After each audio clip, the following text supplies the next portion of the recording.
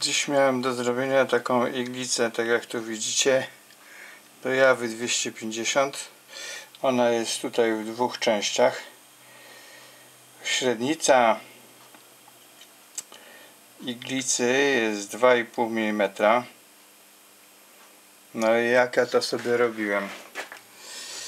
No najpierw tutaj robiłem stożek, teraz już widzicie te kanałki, o to się wszystko rozmywa no bo to takie średnica kanałka pół milimetra a głębokość yy, na średnicy milimetr.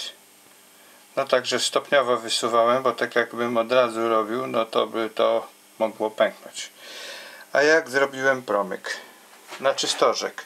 Stożek zrobiłem takim zrobiłem sobie taki nóż ze stalki HFS naostrzony i później pilnikiem ściernym lekko przytępiłem tą krawędź, żeby nie powstawały zadziory, tylko ładnie toczył. O.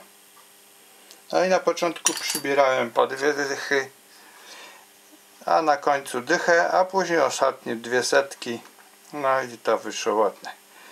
A jakim nożem robiłem kanałki?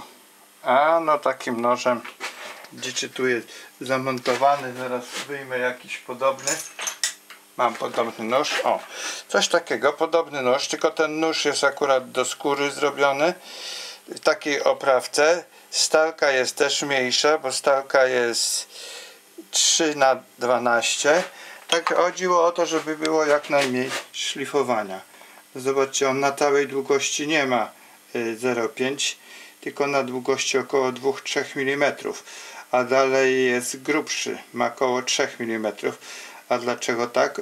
Jakby na całej długości miał tych 12 mm, 3 mm, to na pewno byście żadnego kanałka takim nożem nie zrobili.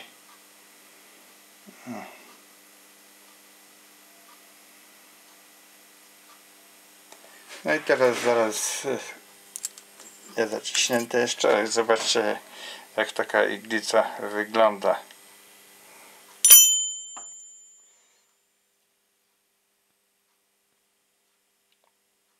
No trochę pracy wymaga, małe, a kosztowne. Iglica do jawy 250. Dziękuję.